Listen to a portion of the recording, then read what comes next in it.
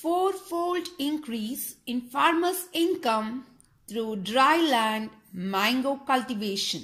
Gadag is one of the drought-prone district in Karnataka state. Probability of agricultural drought is 70% of years. ಹತ್ತು ವರ್ಷದ ಒಮ್ಮೆ ಮಳೆ ಆಗದೆ ಮೂರು ವರ್ಷ ಅಷ್ಟೇ ಪೀಕ್ ಬರ್ತಿದ್ವು ನಮ್ಮೆಲ್ಲ ಮಸಾರಿ ಜಮೀನು ಆದ ಕಾರಣ ಅಲ್ಲಿ ಶೇಂಗಾ ಬೆಳೆಯನ್ನು ಬಿಟ್ಟು ನಾವು ಅದರ ಉತ್ಪನ್ನ ಬರದಿಲ್ಲ ಕಾರಣಕ್ಕಾಗಿ ಮಾವಿನ ಬೆಳೆಯನ್ನು ಬೆಳೆಯಲು ನಾವು ಚಲೋ ನಾವು ಎಲ್ಲರೂ ರೈತರು ಕೂಡಿ ಮಾವು ಬೆಳೆಯಲು ಪ್ರಯತ್ನ ಮಾಡಕತ್ತಿದ್ವಿ.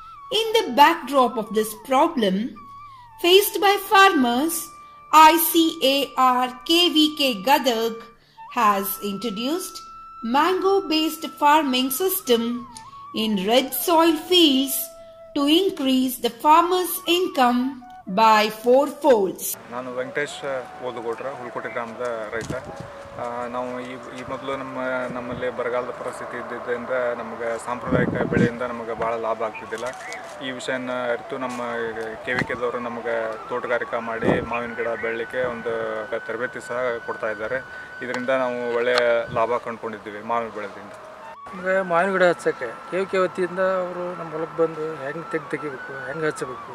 ಅವರೇ ಬಂದು ಎಲ್ಲ ನಮಗೆ ಅನುಕೂಲ ಮಾಡಿಕೊಟ್ರು ಆ ಸಸಿ ಎಲ್ಲಿ ತರಬೇಕು ಆಮೇಲೆ ಹೆಂಗೆ ಹಚ್ಬೇಕು ಅದನ್ನೆಲ್ಲ ಅನುಕೂಲ ಮಾಡಿಕೊಟ್ಟಿದ್ದಕ್ಕೆ ನಮಗೆ ಮಗೆ ಮಾವಿನ ಗಿಡ ಚೆಂದಾಗಿ ಬೆಳೆದವು ಚಲೋ ಈಗ ಉತ್ಪನ್ನ ಕೊಡೋಕೆ ಶುರುವಾಗಿದೆ ಹಂಗಂತ ನಾವು ಹೇಳಕ್ಕೆ ಕೆ ವಿ ಕೆದವರಿಗೆ ಥ್ಯಾಂಕ್ಸ್ ಹೇಳ್ತೀನಿ Specific INM and IPM technologies were demonstrated to farmers for getting good crop.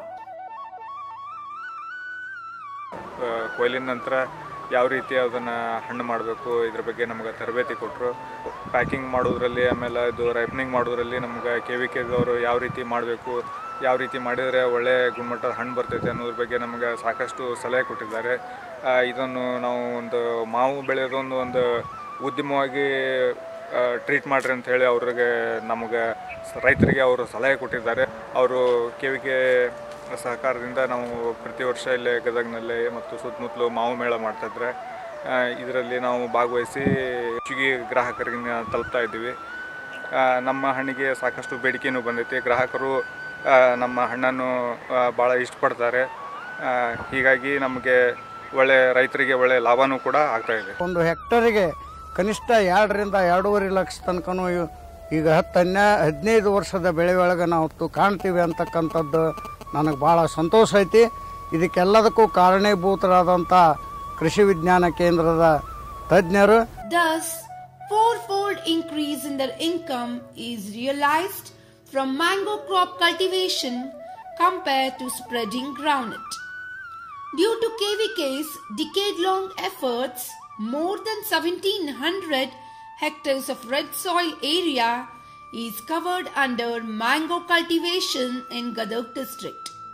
Mango crop is now spread in 112 villages the income from these KVK guided mango orchards in the district is now at rupees 6.12 crores and it is expected to reach to rupees 27.45 crores in the next 5 years.